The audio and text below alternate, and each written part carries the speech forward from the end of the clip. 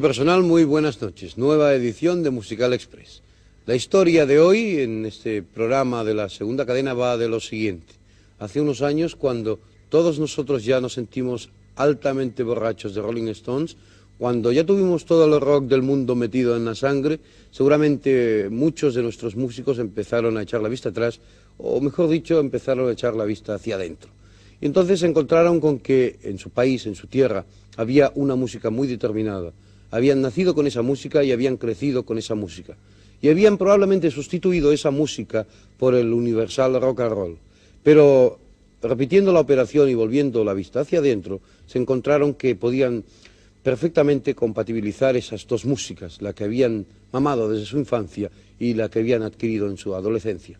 Y entonces surgió un invento que llamamos todos nosotros el rock con raíces, es decir, seguir la trempera generacional del rock, pero aportar a él yo diría que la melodía o las características musicales que habíamos vivido desde pequeños. El programa de hoy pues va a estar dedicado al rock raíces que, para decirlo de alguna manera, yo diría que nació eh, en el ámbito andaluz y que en el ámbito andaluz va a estar cifrada la conversación que mantendremos a lo largo de nuestro programa. Veremos hoy las actuaciones de Guadalquivir, de la compañía eléctrica de Arma, que no son andaluces, sino que son catalanes, de Gothic, Armónica Brava, y cerraremos con un documento, yo creo que impresionante. Se trata de la última actuación de Smash como grupo en esa formación histórica integrada por Gualberto, Antoñito y Julio Matito. Después, precisamente cuando grabó en Barcelona esa actuación con Smash, Julio Matito sufrió un accidente automovilístico y murió. Padecimos en nuestra piel la desaparición de ese amigo, de ese compañero de 10 años, que era Julio, y nos dejó grabado este documento. Un documento que viene enriquecido porque eh, casualmente en aquella ocasión, en este mismo plató desde el cual los, hoy os hablamos, estaban también actuando, grabando con nosotros Lola y Manuel. Y se ofrecieron, se brindaron tanto la gente de Smash como los dos integrantes de Lola y Manuel a interpretar una canción de Julio Matito juntos. Todo esto lo viviremos hoy a lo largo de Musical Express. Vamos a empezar ese programa dedicado a Rocón Raíces con la presencia de un grupo andaluz, Guadalquivir.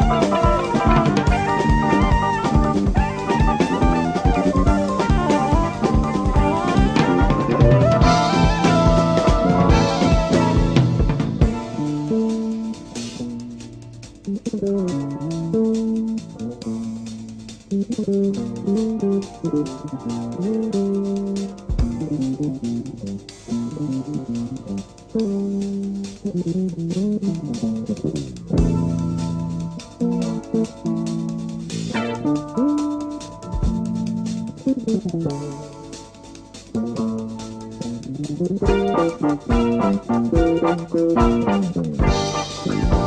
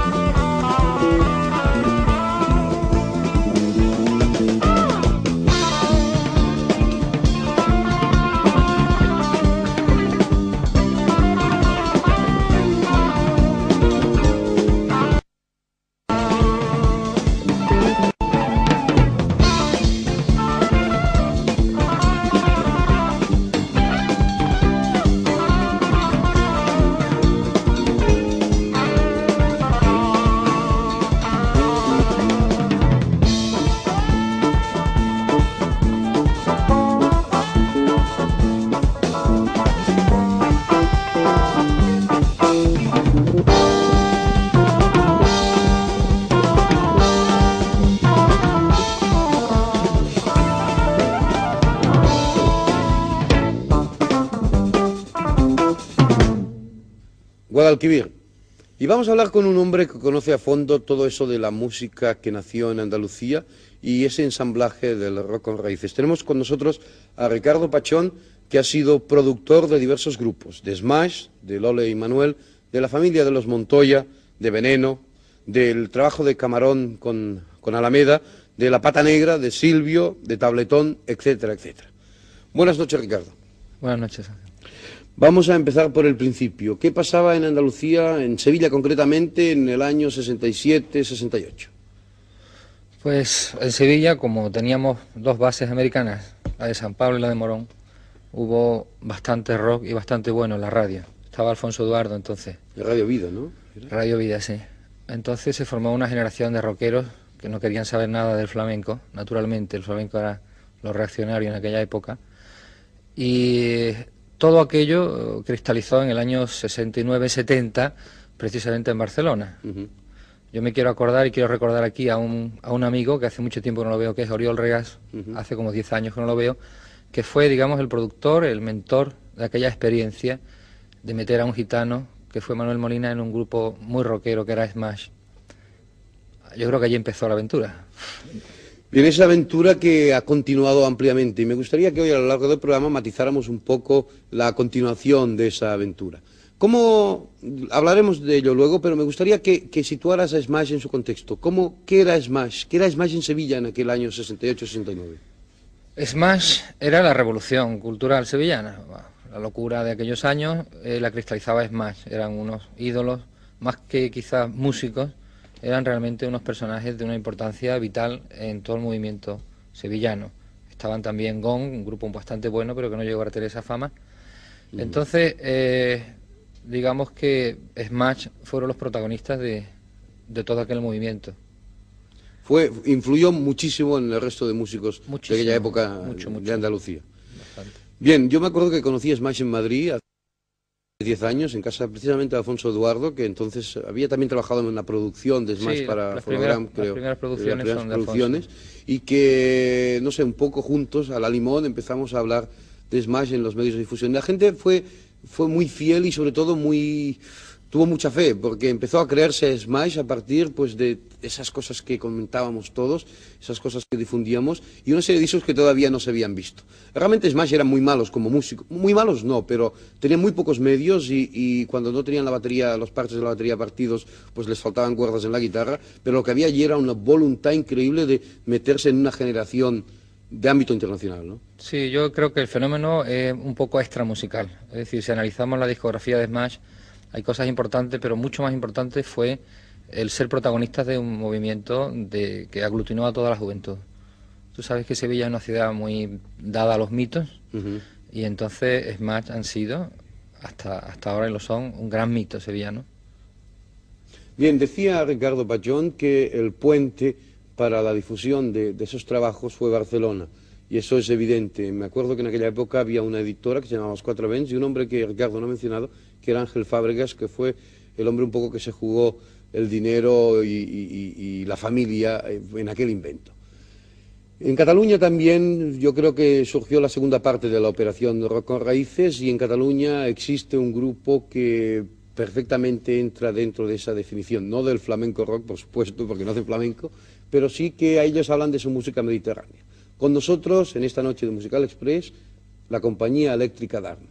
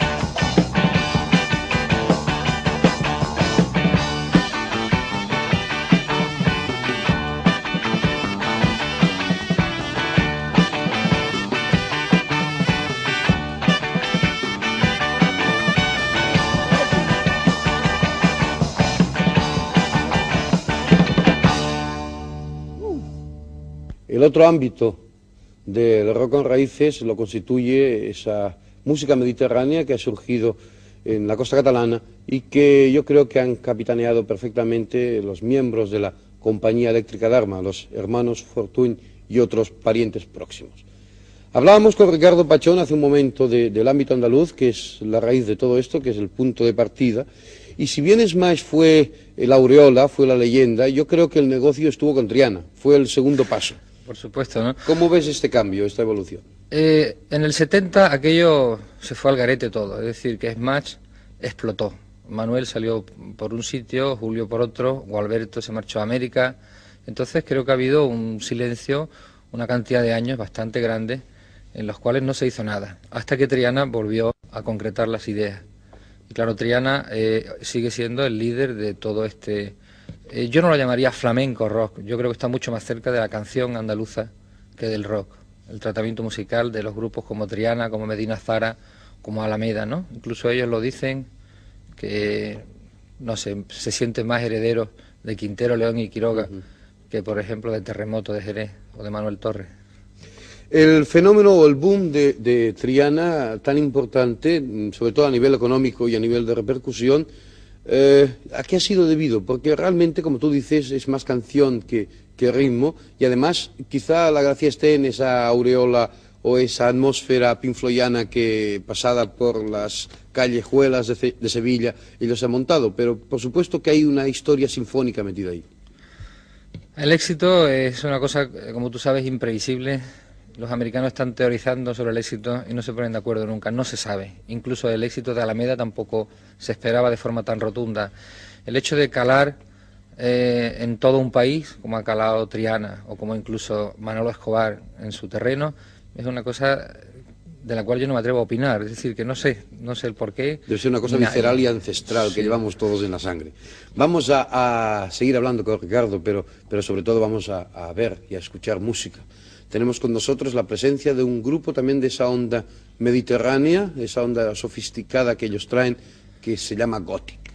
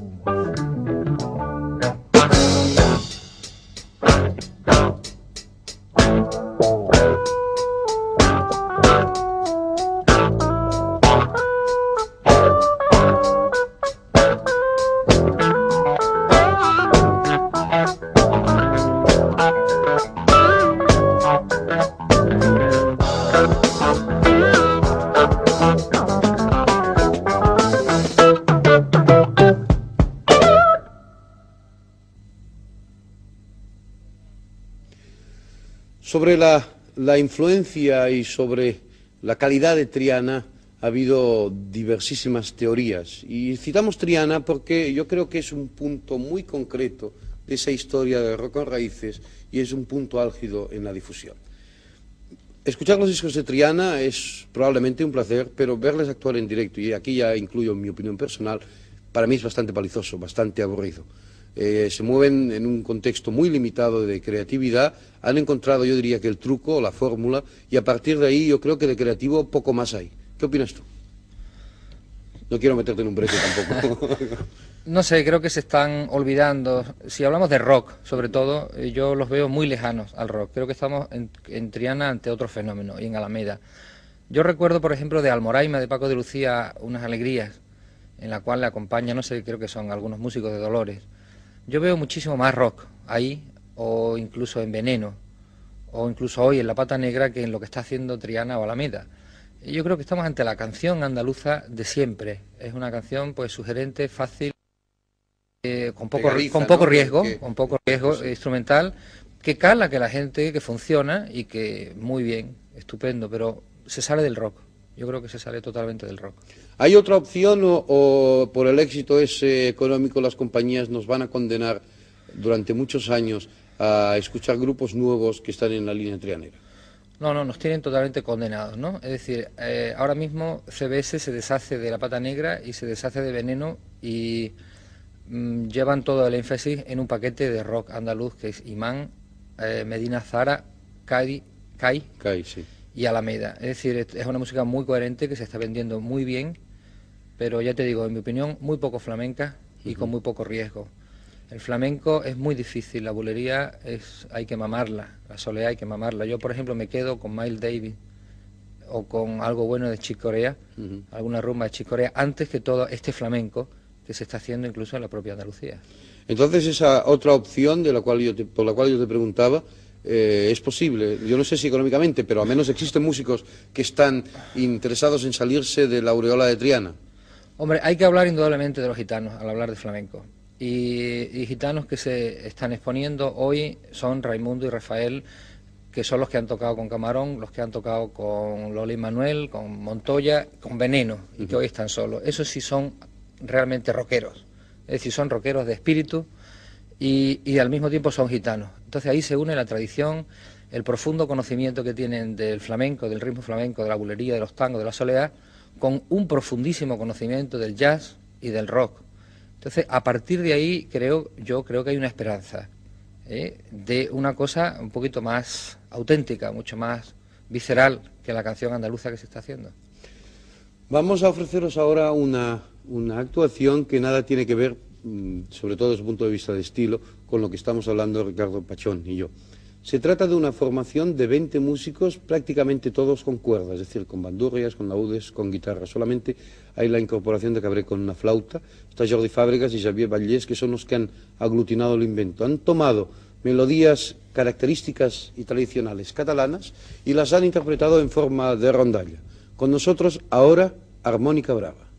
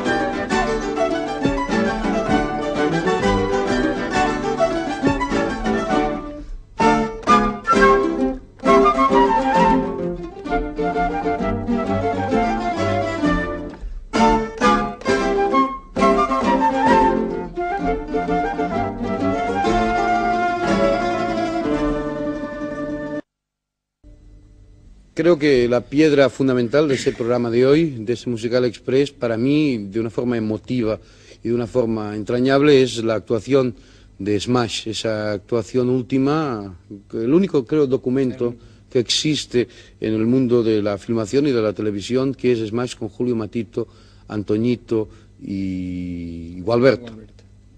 ¿Qué ha pasado luego con Smash después de la desaparición de Julio Matito?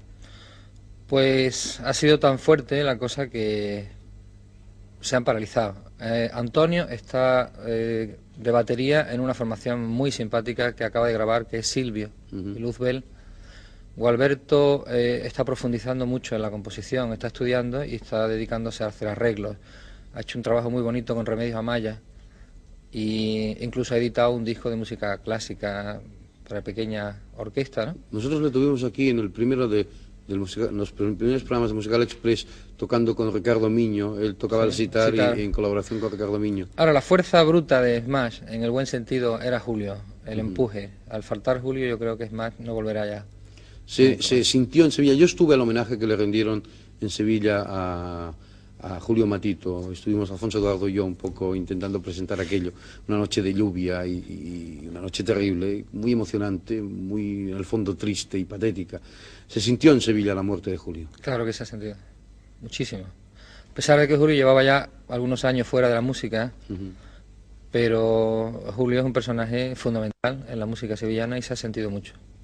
Ricardo, quiero agradecerte esta presencia tuya aquí con nosotros en ese Musical Express, ese comentario en torno básicamente a la música que hemos vivido todos a partir de, de Andalucía, de esa compenetración de dos culturas, y te pediría que te quedaras con nosotros viendo, contemplando y un poco padeciendo esa grabación única que tenemos de Smash. Vamos a ver a Smash ahora con la formación original recuperada en estos años 70, finales de los 70, 69 concretamente, con Julio Matito, Gualberto y Antonito. Y les veremos también en un tema de Julio Matito que se llama Tiny Peter, que, en el cual se incorporaron, como os contaba al principio, el dúo Lolo y Manuel. Con vosotros y ya finalizando el programa de hoy, Smash.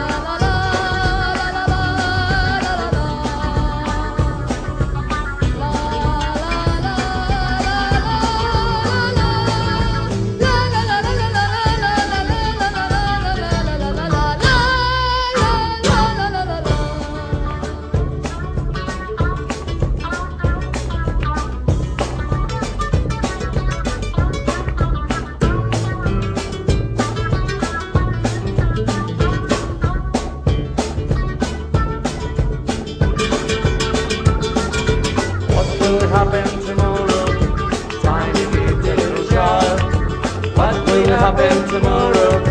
Tiny little child. What will happen tomorrow? Tiny little child. What will happen tomorrow? Tiny little.